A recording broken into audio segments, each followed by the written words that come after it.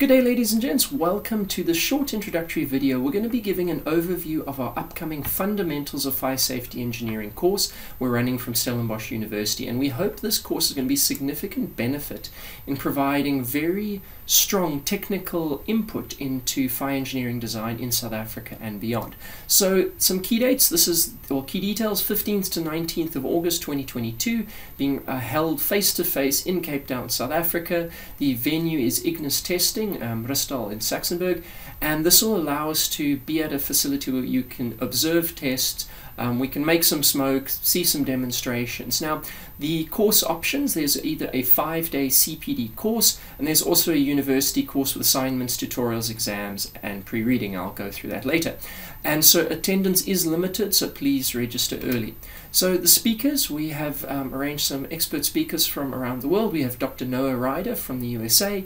He is with Fire and Risk Alliance, and he's also an adjunct member at University of Maryland, University of Waterloo. He is a specialist in fire and explosions, having worked on some of the largest nuclear um, energy storage um, and well, battery facilities in the world. Then we also have Mr. John Iverson. I'm going to allow him to introduce himself now. Hello, my name is John Iverson. I'm a fire protection engineer based in Canada. I graduated in the UK at the University of Edinburgh many years ago, and I practiced as a fire protection consultant in Vancouver primarily, uh, with a spell in the UK, Middle East, and other countries. So uh, I'm also a past uh, adjunct professor at the University of British Columbia. I'm very much looking forward to seeing you all in South Africa and very much look look forward to the actual uh, presentations from from uh, both the professors there and the group. So uh, it should be a great course. All the best. See you soon. In addition to that, we also have our Stellenbosch University team, myself, Richard Walls, a, a postdoctoral researcher, Dr. Natalia Flores Quiros. She is a practicing fire engineer from Chile who has also done her master's at Ghent in fire safety, and Dr. Antonio Cicione. He is an adjunct faculty member here and then also a consulting engineer with Cicione Fire and Structures. Now, the topics we're going to be covering uh, go through a whole range of, of topics. So we are going to be really laying the foundations for becoming and being a fire engineer. So the aim of this is this would be a first course in fire safety to really look at a solid theoretical um, background and then application to all the topics listed here. And the focus will be on understanding these concepts and principles, not specifically on codes and thus saith the code, but more performance-based design and where do we get these details from and how do we apply them. So we'll first look at introduction to fire safety, then material characteristics in fire, passive protection, looking at how do we ensure compartmentation and structural safety. Then the focus will be on the next topics, fire detection and communication systems. How do we design detection systems and then communicate with other systems? How do we um, deal with smoke and smoke management? So look at sm um, smoke flows and behavior, the theory, and then going on to smoke management. Looking then after that to suppression systems with basic hydraulics, sprinkler design, and other suppression options available. Then we move on to evacuation and human behavior in fire, seeing now how do we go about designing for human movement and how do we calculate our required and available safe evacuation times and what influences those.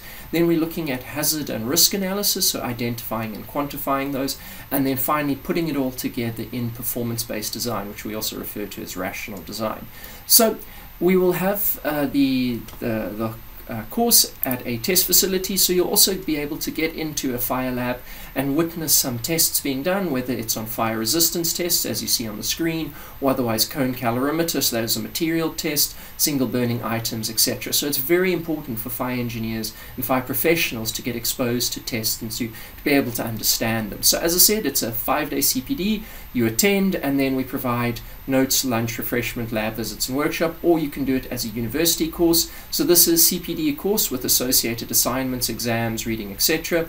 This is run at master's level. So you need an accredited bachelor's in engineering degree um, or a BTech with an average above 65%. And these are accredited engineering degrees or equivalent international degrees. And it is run as a short course. It will be ECSA accredited. It's not going to be easy. I'm not pretending that this will be a walk in the park. It's 150 hours equivalent um, uh, of work, so you'll be going through quite a bit of content and then carrying out designs in this. But this will be a very useful basis for developing professionally. And then also, you can do the exact thing, but if you are currently registered as a master's student, you can register for the course as an NQF 9 course. Uh, just contact our offices to arrange because the registration process is diff different. Okay, so there is the, the facility on the eastern side, so it's outside the crazy traffic belt of um, the city centre, and it's about 10 k's as the crow flies from the airport. So if you want to register for the CPD course or the university course, either see the link in the comments section of the YouTube video or otherwise refer to our course brochures. If you would like your company to network with um, the delegates at this course, we have networking options where you can set up a stall and then network with the people. So please be in touch. There'll be exciting opportunities for promoting your company. Otherwise, we look forward to seeing you soon. Thanks.